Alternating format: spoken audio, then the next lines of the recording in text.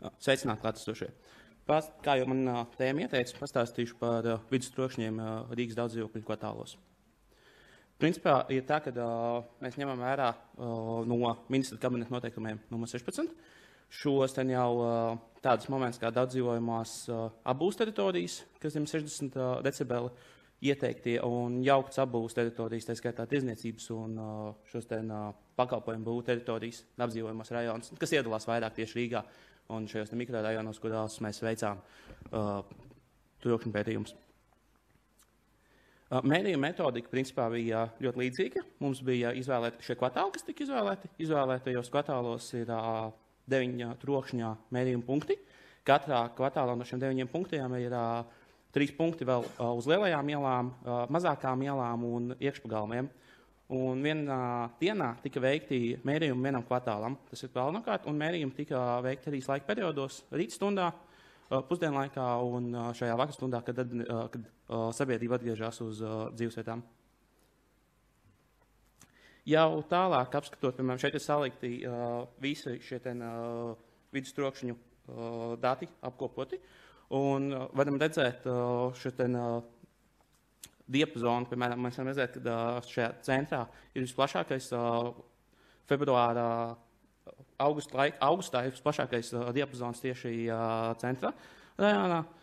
Un gan Purciemā, gan Juglā šis trokšņa diapazons ir visplašākais. Savukārt, piemēram, mēs varam redzēt, ka no imantā mums ir samērā mazs diapazons, piemēram, mums tikai no 46 līdz 63 decibeliem šis viss apjoms. Šeit tiek iekļauts šajā tabu grafikā, ko jūs redzat, ir iekļauti gan lielās ielas, gan tās mazās ielas, gan nu, pagalma. Tas ir visas diapazons, ko jūs redzat.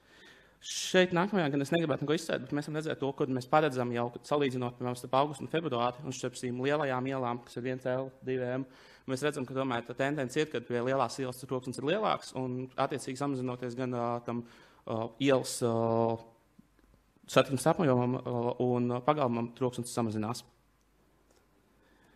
Pie vidas troksnis par lielajām ielām, piemēram, mēs skatāmies centrā, kas ir brīvības iela, salīdzinot starp augustu un februāru mērījumiem, kas mums arī bija, ir tā, ka šeit apjoms, šeit tomēr varam redzēt, ka ir decibeliem, piemēram, 5 decibeli starpība ir starp augustu. To mēs varētu skaidrot, nu, kad augustā, pirmkārt, gan mums ir lapas, it kā kas ir mums, un, bet februārī nav. Bet tomēr mums augstā jāsaprot, ka cilvēki iespējams pārvietojās vairāk, ir vairāk atvaļinājumu, lielāka aktivitāte. No februārī nav. Tāpat mēs redzam, ka šīs čakī ielas, dzelzceļa ielas, šis uh, trokšņa līmenis ir diezgan uh, virs. Un, uh, tāpat viņš, šīs starpības uh, nav tik izteiktas.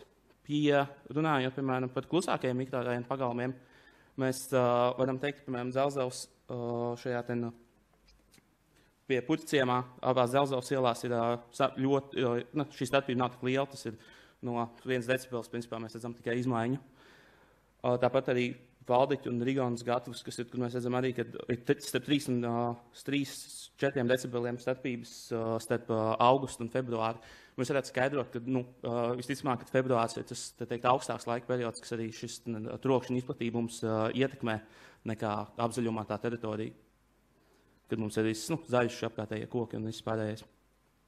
Līdz ar to no secinājumiem jau kā var teikt, ka uh, mēs redzam, ka šie plašākie diapazoni mums ir, uh, kur cilvēks vairāk apgrozās, tas ir centrā.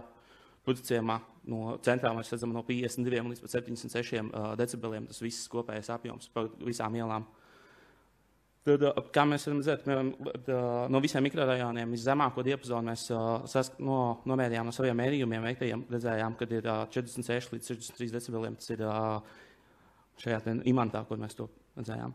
Starp pie ieteikumiem, ko es varētu ieteikt, ir šī, ten, ko mēs arī redzam, ka nu, iespējams, ka tas tiešām, ko jau mēs šodien atklājām vairākas reizes kopumā visām prezentācijām, ir šī apzaļumošana.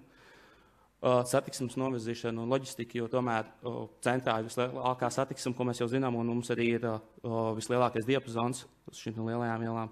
Sabiedriskā transporta loģistikēšana, jo šī brīdī varbūt tās, ja mums ir 32 cilvēki, kas pārvietojās ar privātajām automašīnām, vai visi šie 32 cilvēki atrodas sabiedriskajā transportā, protams, ka tas nozīmēs, ka šis vidas troksnis tiek samazināts. Trokšņa sienu uzstādīšana, tas nav domāts, ka mēs tagad centrā stā, uzstādīsim trokšņa sienas. Tas ir iet tur, kur tas ir iespējams, uz apceļiem vai pie šiem ten, uz mikrorajonu ceļiem, kas ir dodas uz šajā virzienā. Akustiskās tīklojuma izvietošana, kas ir jau Eiropā, Rietumē Eiropā jau saskārušies cilvēki, kad šajās ēkās, kas iet gar galvenajām ielām, lielākajām, kad šīs ēkās tiek ielikts stīkli, kuri akustiski novirza skaņu. Protams, viņi ir dārgi, un līdz ar to tur būtu jādomā jau par valsts kaut kādu līdzfinansēšanu vai projektu piesaisti, lai tādas varētu veikt. Tas ir viss. Paldies par uzmanību!